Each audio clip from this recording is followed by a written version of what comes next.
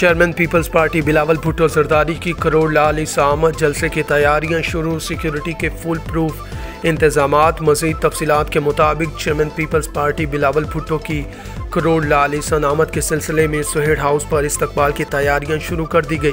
बिलावल भुट्टो जरदारी बरास्ता चौक, आज़म से फतेहपुर और फिर करोड़ लाल सन पहुँचेंगे।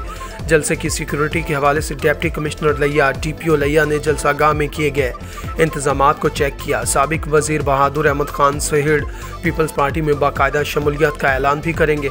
Chairman peoples party Bilawal Bhutto 11 सितंबर शाम चार बजे करोड़ लाल रेलवे स्टेशन के करीब जलसे आम से खिताब करेंगे।